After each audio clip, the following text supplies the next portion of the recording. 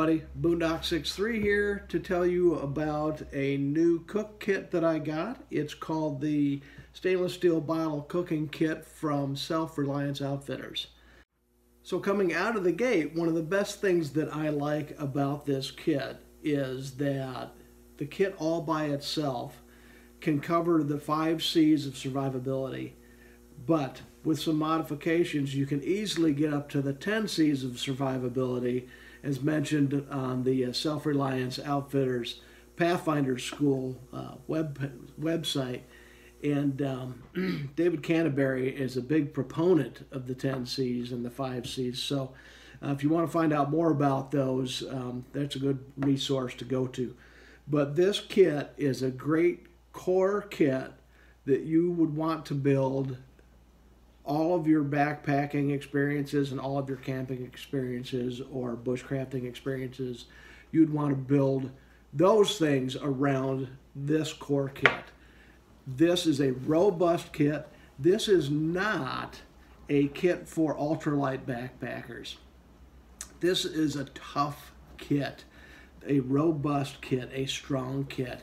And this is a kit that's made to last. Stay tuned and we'll talk a little bit more about this kit plus the modifications that I've made to it to get to the 10Cs and more in just a minute. So let's talk about just the kit. Let's talk about the specifications. First of all, the kit, I, have already got a couple of my mods on here already, but the kit itself, the actual container of the kit, is just this round cylindrical uh, it's it's actually a Condor type kit that uh, at the Pathfinder School used to use for this for this kit, but they've they've uh, improved this kit and made it bigger, and uh, we'll talk a little bit about why here shortly.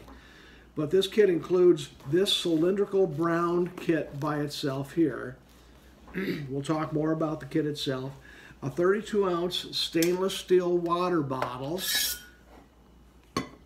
a 700 ml stainless steel cook pot with a lid, a alcohol stove, or you can use this on a wood coal, uh, uh, a wood fire uh, stove to cook on top of.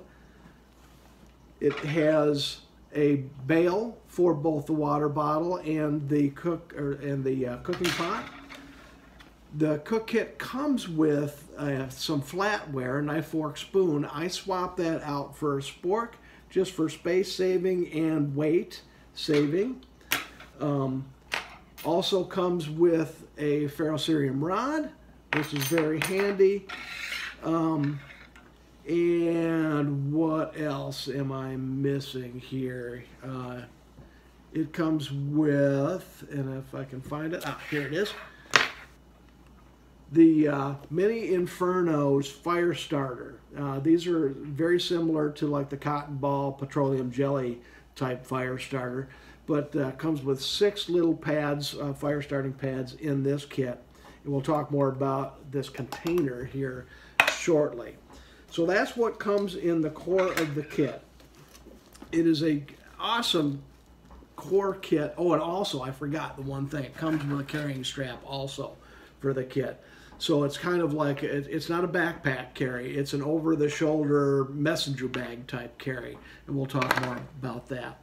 This kit um, weighs about three pounds without anything, any water, anything in it, and it today on the 7th of February 2019, it sells for $71.95 uh, US on the selfrelianceoutfitters.com. So that's where you get it. That's how much it costs. That's the core kit itself. We're going to talk a little bit about more specifics of the kit in just a minute. So let's talk about the specifics of the kit. The kit itself is mollied all around. It fits on a, uh, it has MOLLE straps so you can put it on a, a backpack and MOLLE it to a backpack. It has its own MOLLE straps here so that you can MOLLE extra attachments and pouches to it, as you see I already have.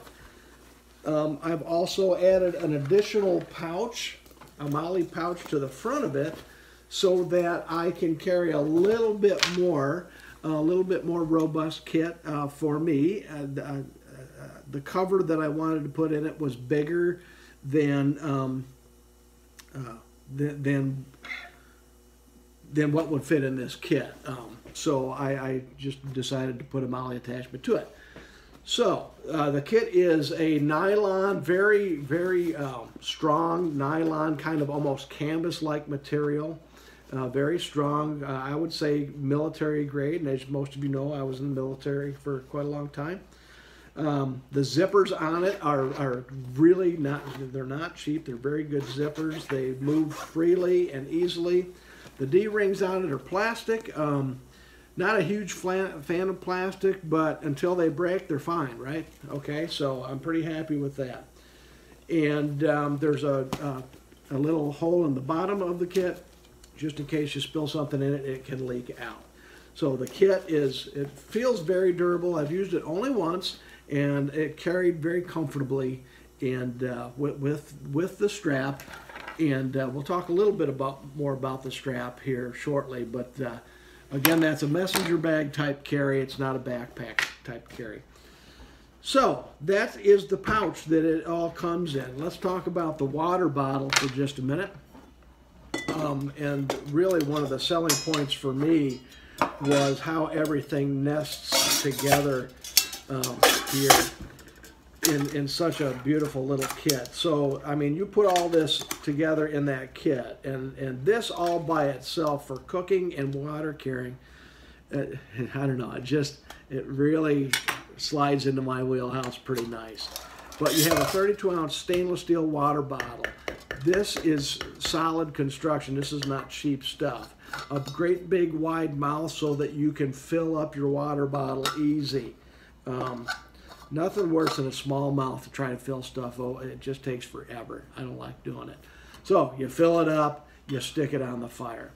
The other nice thing about this water bottle, very durable lid, very hard plastic. Um, it's got a rubber seal in there so it won't leak. And there is, you can use this water bottle over the fire, which is why I like stainless steel water bottles. This little fish bail right here in the shape of a fish is works for both the water bottle and the cook pot. The water bottle, and you got to be careful with this because you can it's it's a loaded spring, so it'll come apart and pinch you if you're not careful. But the nice thing about this is you can use this as a bail on the water bottle and it'll hold the water bottle up nicely for you or you can use it as a bail on the pot.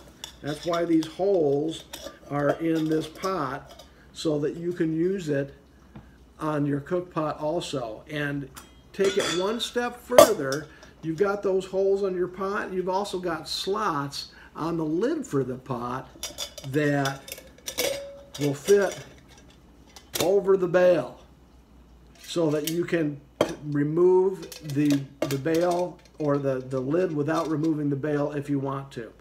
One thing I will say is be really careful if you have hot liquid or hot food in this and trying to attach this bail when it's hot. Um, you, you got to be careful. You just don't want to spill something super hot on you, boiling hot water or something that's going to burn you and end your trip. So I would put this bail on before I heat anything and after and take it off after everything is cooled.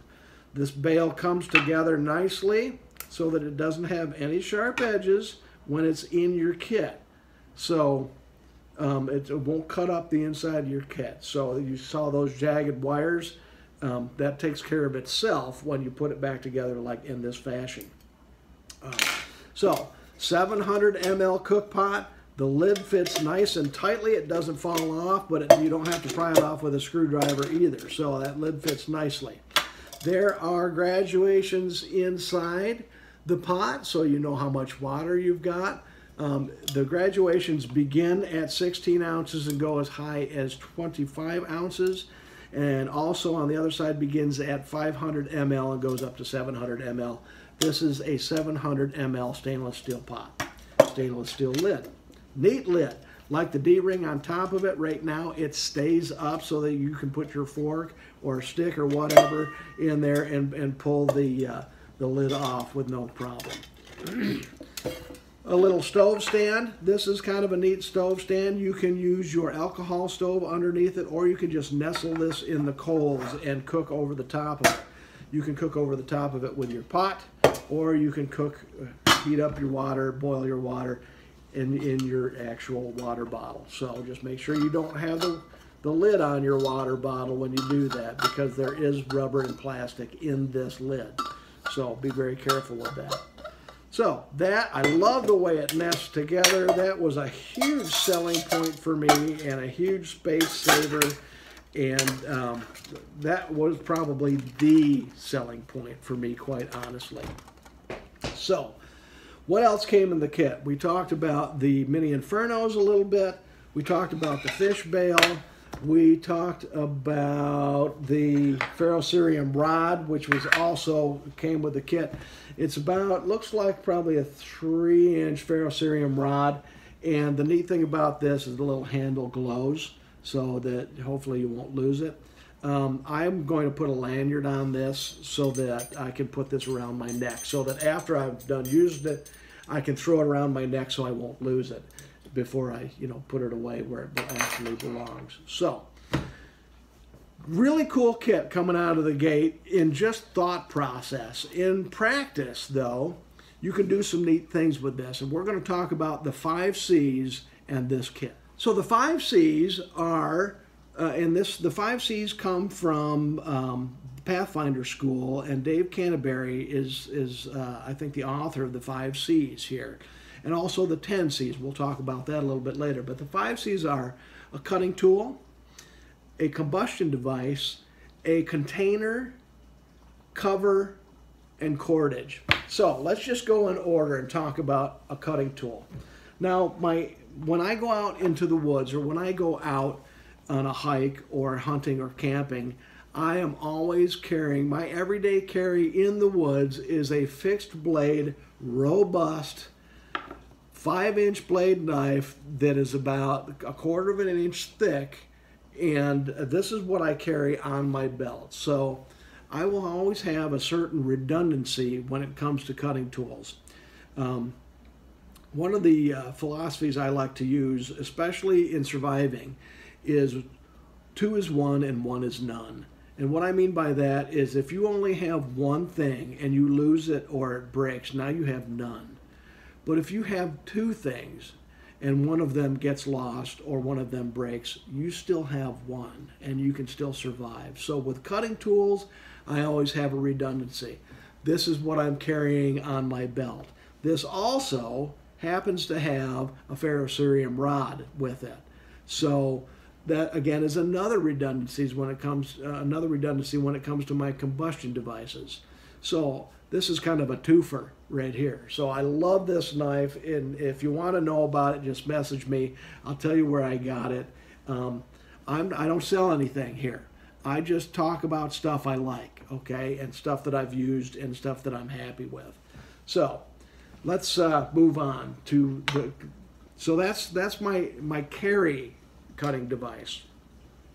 The device that I actually have and put in the kit is a Leatherman. This particular Leatherman is a Surge. This Surge is super heavy, super heavy. So it adds a lot of weight to that, uh, that kit. So I think what I'm going to do is I'm going to scale that down to this knife here. This is a Victorinox Swiss Army knife and it's called a Trekker or a one-handed Trekker reason it's called a one-handed trekker is you can open it with one hand. So it's kind of a neat knife. But this has a lot of the same things a Swiss Army knife, or pardon me, the, the Leatherman has on it. It's got the saw blade on it. It's got the bottle opener and some other things on it. But it's nowhere near as heavy as this Surge. So I think I'm going to switch my kit knife over to this Victorinox. But uh, the Victorinox is really my everyday carry around the house, and uh, I just really like this knife. It's, uh, uh but I think I'm going to get another one and keep it in the kit, or just put this one in the kit when I go out with it. But for now, right now, I've got the uh, the Surge Leatherman Surge in there. So that's my cutting tools. Um, I also have a little serration kind of thing on my spork. I suppose that may cut something, but probably not much. So uh, for combustion devices, we already talked a little bit about that. I've got a combustion a ferrocerium rod on my my fixed blade knife. There's also one that comes with the kit, has the glow in the dark handle. Um, this is about a three inch uh, ferrocerium rod with a striker. The striker has a water bottle on it, a water bottle opener rather, and the striker. And there are also, um, you can measure with this striker. It's got um, graduations on it for, and this is up to 50 millimeters on one side, and this is 50 centimeters on the other, or 5 centimeters on the other. So it's all metric there. Anyway, that's, that's what comes with that. And the redundancy that I would have with this particular kit is just a, a Bic lighter.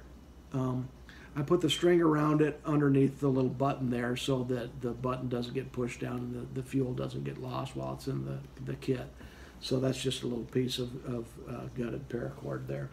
But, so, redundancies for my cutting tools and for my combustion devices, always. Along with the combustion device that comes with the kit, it comes with these little mini Inferno uh, petroleum uh, saturated pads that will burn for, you know what, I've never used these particular pads, uh, the Inferno pads, but I've used cotton balls with petroleum jelly, and they usually burn for a few minutes, and certainly long enough to get a fire started um, if, if you use this type of thing. The neat thing about this particular kit is when you've used up the stuff inside it, um, don't throw away the kit because you can put a hole in this and use this to make char cloth. So this is, this is metal, so this uh, you know it's tin, so this will work perfect for that. Or you can reuse it and make your own cotton balls with petroleum gel in it and stick those in here, however you want to do that. Um, containers, we already talked about the 32 ounce water bottle, the 70 or 700 ml uh, cooking pot, um, all stainless steel, all you can cook on uh, and, and, heat up and boil water with. So the containers are good. Also, a container is the uh, the actual pouch itself. You can use that as a container for you know whatever you want to carry around. If you want to go out, empty this, go out and get a bunch of kindling or tinder and just fill this up with that. You can do that and then bring it back to camp and empty it somewhere where it'll stay dry. Um, so that can be used as a container also. cover. Let's talk about cover. Cover was a difficulty with the 5Cs on this because more cover is better. Less cover is less better, less good. So um, here's what I've done. I have the Mylar uh, emergency blanket. That um, is just a good thing to have for both a blanket, for ground cover, for overhead cover. This particular one is um, five, 55 inches by 84 inches. So this is sizable. It's good. It's, it's pretty big. Um, it stretches out, but how durable is it? So what I have is a, uh, this is just a nylon tarp, and this is five feet by seven feet. Um, and this has grommets in it so that I can put this up as a cover or a ground sheet, whichever I choose, one or the other. And I also have um, some some cordage, which will go on and talk more about cordage in a little bit. But I also have some cordage so that I can secure that tarp and get covered up with it and stay safe. So again, the five C's, the first five C's that should be the core of every kit, every survival kit, are cutting tools, combustion devices, containers, cover, and cordage.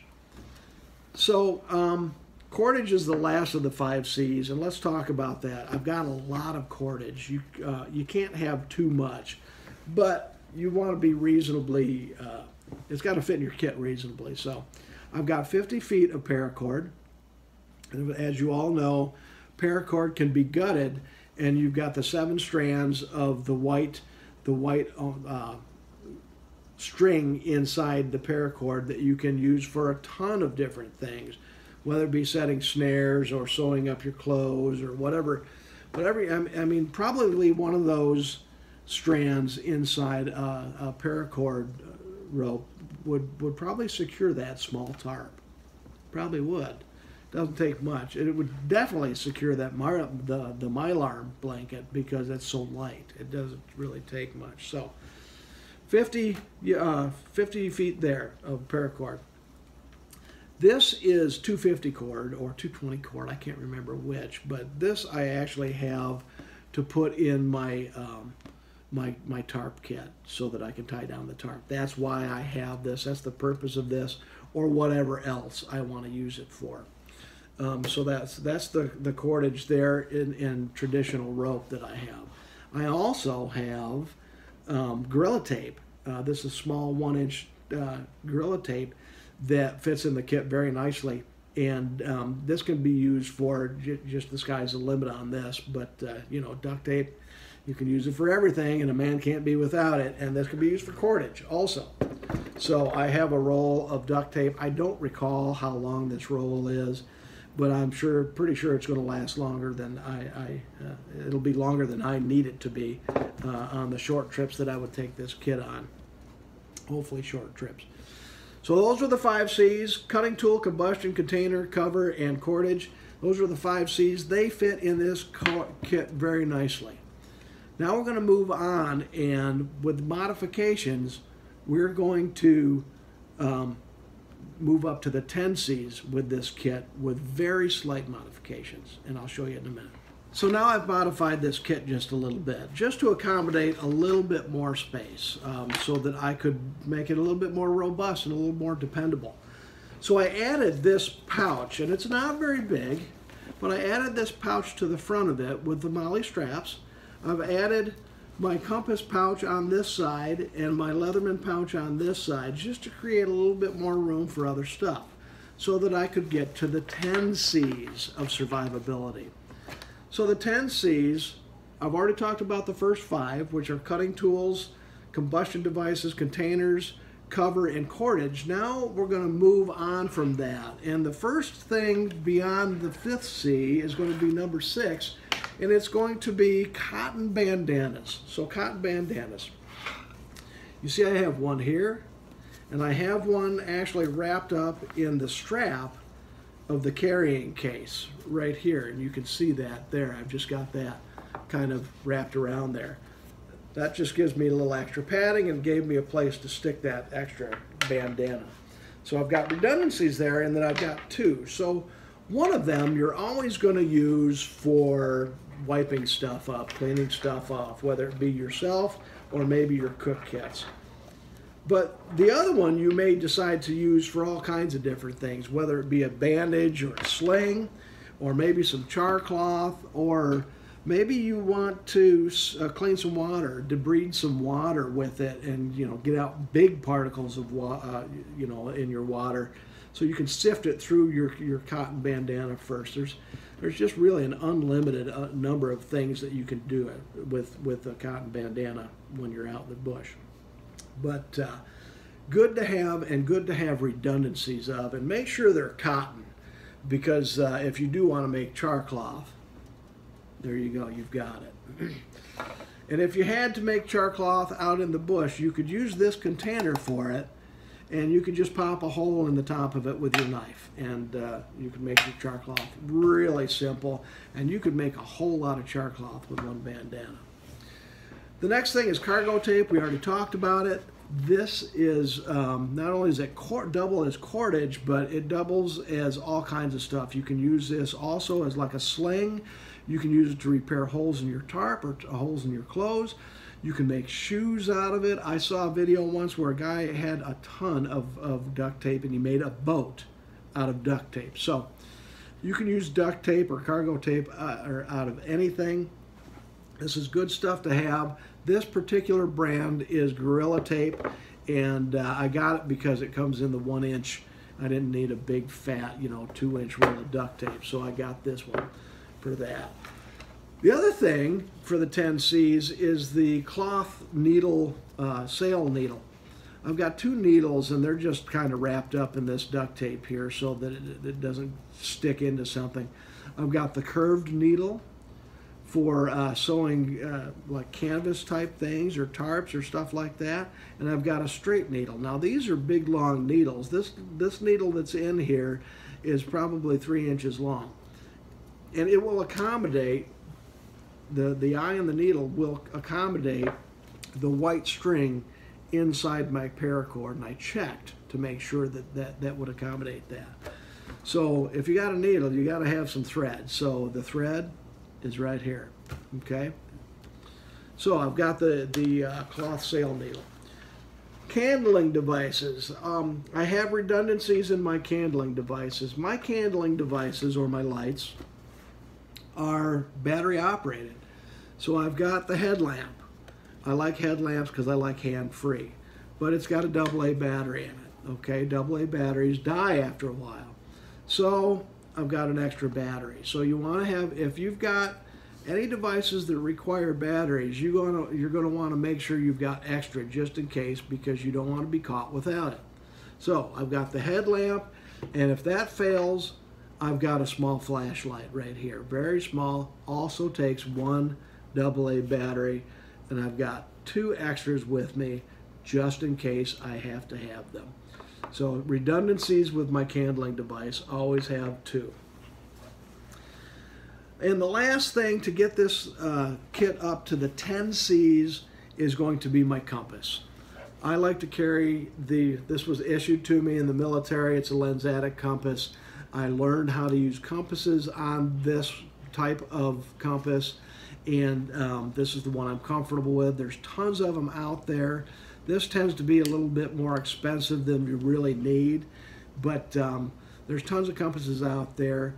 I know, um, is it Suunto, S-U-U-N-T-O,